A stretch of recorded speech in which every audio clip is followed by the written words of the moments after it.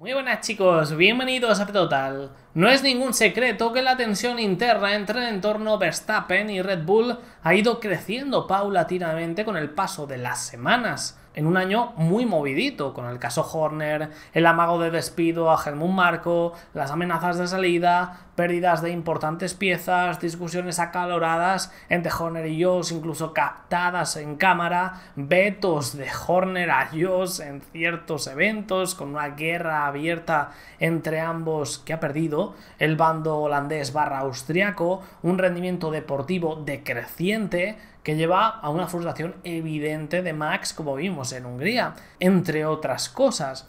Y el último capítulo llega con la salida de Jonathan Whitley, su director deportivo, hasta final de año, anunciada hace unos días. Al parecer, tomó desprevenidos, según informa Fórmula Pasión, el medio italiano, a los altos cargos del equipo, quienes quedaron sorprendidos y no hizo ni pizca de gracia especialmente a Max y su padre al ver cómo el proyecto se autodestruye, en parte, hay que decir, por las ansias de poder de este bando. Ojo a las palabras de Eddie Jordan, manager de Adrian Newey, que sabe muy bien lo que se cuece internamente en Red Bull.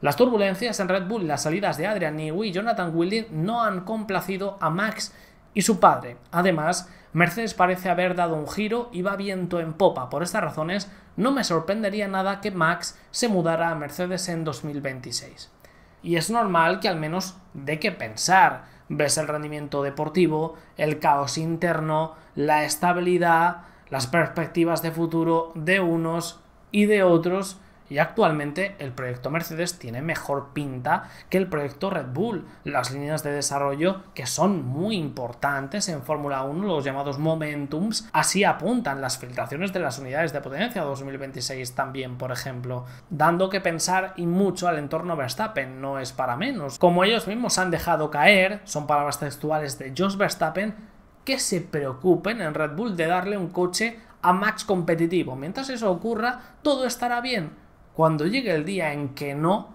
habrá problemas. Y ese problema será básicamente que abandonaran el barco. La cosa es que ese escenario se anticipa a pasos agigantados y Max no está satisfecho con la situación, obviamente. Es duro, no voy a mentir. Siempre intento dar lo mejor de mí, intento optimizar cada fin de semana, porque si tengo un buen coche, mi vida también se hace un poco más fácil y también la del equipo. Es algo bueno en cierto modo, nos mantiene alerta. Solo tenemos que intentar mejorar un poco más, intentar recuperar ese impulso de ser realmente competitivos.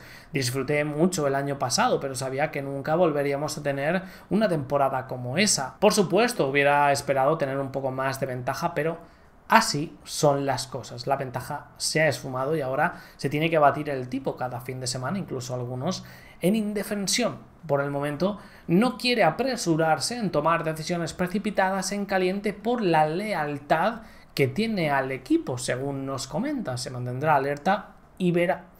Creo que lo más importante es no tomar decisiones basadas en la emoción, porque eso siempre será contraproducente. Soy una persona paciente, no me preocupo demasiado por las cosas, valoro el hecho de que tengo una larga historia con el equipo, la lealtad es muy importante y creo no siempre está presente en la Fórmula 1, afortunadamente en mi caso sí la hay y creo que es mutua para nosotros, hablaremos de esto ahora más adelante, pero otro suceso de estas últimas semanas que nos habla de que por mucho que traten de maquillarlo existe una tensión en ascenso y más que palpable, es en la forma que Max Verstappen desacreditó a Helmut Marko y Red Bull, de forma muy agresiva. Recordaréis el famoso episodio de su tanda nocturna en las 24 horas de Spa de iRacing que coincidió con un domingo oscuro en Hungría, tanto individual como colectivo, lo que hizo que muchos señalaran a eso como parte de la culpabilidad. El asesor austriaco salió a decir que habían acordado no volver a hacer tandas nocturnas, que habían hablado con Max Verstappen y había llegado a esta especie de acuerdo, a esta restricción, para así procurar que esté al 110% el domingo, que no haya dudas acerca de su profesionalidad, de su estado, de su compromiso, de su descanso. Pues bien, contestó Verstappen de forma contundente contradiciéndolos. Hablamos de ello. De todos modos, no hay otra carrera de simulador programada, así que nadie tiene que preocuparse por eso. Entonces, no, no es que tenga una prohibición o algo así. Tampoco necesito decirles al equipo lo que tienen que hacer en su tiempo libre y durante los fines de semana. Y eso es lo mismo para mí. Correr hasta las 3 de la madrugada no es algo nuevo y es algo muy importante en mi vida. Quiero decir, he ganado tres campeonatos mundiales, creo que sé bastante bien lo que puedo y lo que no puedo hacer. En tono desafiante el holandés. Sí, hablamos de ello, no habrá más durante el año, así que no tienen que preocuparse por ello. Ahora que si hubiera, la correría no tengo ninguna prohibición, como tampoco les digo a ellos lo que tienen que hacer en su tiempo libre. Correr hasta las 3 de la mañana ya lo he hecho y es, importante para mí. Así que deja caer que por mucho que hayan dicho, no lo va a dejar de hacer. En definitivas cuentas, va a hacer lo que le dé la gana en este sentido. Nadie le va a decir lo que tiene que hacer. Ni acuerdos, ni historias. Y su última frase es un error por su parte, dar por sentado que por ser tres veces campeón del mundo no puedes cometer errores, no puedes cambiar cosas en su preparación, por ejemplo, para optimizar su desempeño en un fin de, en un fin de semana de carreras. Es absurdo. Hasta el más gran y longevo campeón de cualquier eh, categoría deportiva encuentra formas día a día de superarse. Pero en su caso su mensaje es soy tres veces campeón y hago lo que quiero. Nadie tiene por qué decirme nada por ese motivo. Pasando de seguridad en sí mismo a arrogancia y un poco terquedad.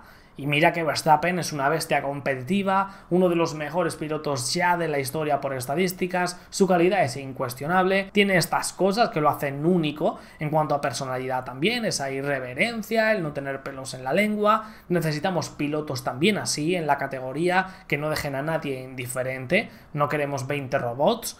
Su problema es que a veces se le va la boca de más, extralimita, y es en parte no tanto por él, sino por la actitud de todo su entorno, por lo que Red Bull se encuentra en este caos interno, por no aceptar cada pieza su papel, su límite, y querer más, más y más, nunca estar saciados.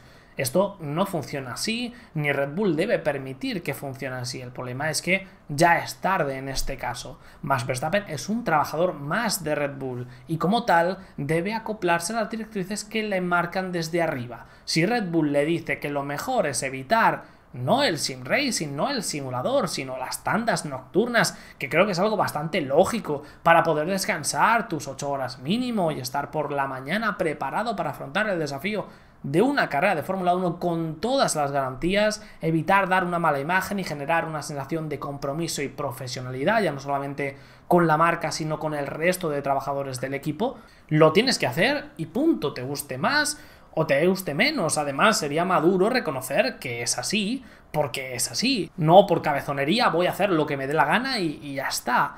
Es como, no sé si sabréis que muchos pilotos tienen prohibido por contrato hacer deportes de riesgo, como por ejemplo saltar en paracaídas. Las marcas involucradas, al fin y al cabo, eh, tienen un compromiso, pagan un pastizal y debes cuidarte para cumplir con los servicios que te encomiendan, devolver la confianza que depositan en ti con compromisos y algún sacrificio que otro, como también han hecho por ti. Ser un piloto de Fórmula 1 en la actualidad es mucho más que conducir y por ello las cantidades de dinero han crecido exponencialmente en estos últimos años que reciben cada uno de los protagonistas. Y no es que la tanda nocturna afectara a su rendimiento en Hungría, lo irascible que estaba, había otras razones para estarlo, nunca lo sabremos tampoco si fue así o no, pero beneficiar seguro que no, por si acaso no habría que hacerlo. La sensación que puede llegar a dejar es esa, de falta de profesionalidad, compromiso, que una marca no puede dejar pasar. Se va a dormir a las 3, 4, duerme menos de lo recomendado, dijeron 7 horas, pero ni de coña fueron 7 horas. Cuando el resto de miembros llevan horas descansando y preparándose para la carrera de, de pocos instantes más tarde. Y es que si esto fuera 2023, luego, luego da un poco igual, porque van sobrados, pero se están poniendo las cosas complicadas, hay turbulencias internas, necesitan dar la imagen de unidad, de compromiso, de que se están dejando la piel para salir de esta situación y escenas como esas no ayudan ni interna ni, ni mediáticamente. Mientras se haga a una hora prudencial que garantice el descanso, que haga lo que le dé la gana, es más, mejor sin racing, que puede ser beneficioso en ciertos aspectos, como la concentración, que otras cosas. En Hungría no fue el caso, ya que no se garantizó el descanso adecuado y habría sido maduro realmente llegar a la conclusión de, bueno, vamos a evitar esas situaciones por el bien del, equipo, pero no, la conclusión es, voy a hacer lo que me dé la gana, tengo tres campeonatos y sé bien lo que puedo y lo que no puedo hacer. Esa no es la actitud ¿no? de un campeón, que lo es, sino de un líder aún con 7 campeonatos del mundo y 40 años, Hamilton aún encuentra nuevas formas de mejorar, nuevos problemas a los que enfrentarse y complementarse y completarse. Alonso tres cuartos de lo mismo, Djokovic tras más de 15 años en la élite y así un sinfín de deportistas más que seguro se os ocurrirán. Ese pensamiento es extremadamente arrogante, pero bueno, Max Verstappen en estado puro, cuando le tocas la vena sensible, estalla mostrando toda su furia. Y a pesar de lo que él comentaba anteriormente, tanto por estas últimas declaraciones como por conocerlo a lo largo de toda su carrera deportiva, la paciencia precisamente no es una de sus grandes virtudes. Al contrario, y su entorno tiene aún menos, lo que puede llevar a situaciones complicadas antes de una salida de Red Bull que parece, dada la tesitura del equipo y del entorno Verstappen dentro de él, será una realidad tarde o temprano. Parece que sí podría aguantar en 2025 para ver cómo se desarrollan los acontecimientos, si Red Bull reacciona y si Mercedes puede especialmente solidificar lo visto hasta ahora para un traspaso más seguro. Así lo afirma F1 Insider, confidente del entorno Verstappen en estas últimas, en estas últimas horas. La intención es mudarse a Mercedes en 2026 si las tendencias prosiguen su curso. Si Mercedes sigue hacia arriba y Red Bull sigue en duda, veríamos a Verstappen de plateado como máximo en 2026. Sería una decisión ya tomada tanto por Max como por su entorno. Vamos a dar este margen y si las cosas van así, no hay dudas, no hay nada que debatir. Eso sí, si los de Brackley firman a Antonelli como todo parece indicar, Russell sería el que peligraría lo cual colocaría a Toto Wolf en una posición delicada. Aunque él parece querer al holandés, cueste lo que cueste, y está junto a Ola Kalenius, máximo responsable de, de Daimler, en constante contacto para ese traspaso soñado, para llevarlo a la realidad sea más temprano o más tarde, lo que podría darnos mucho movimiento próximamente. Dejadme en los comentarios qué opináis, suscribíos, dejad vuestro like y nos vemos en el próximo vídeo chicos. Hasta luego.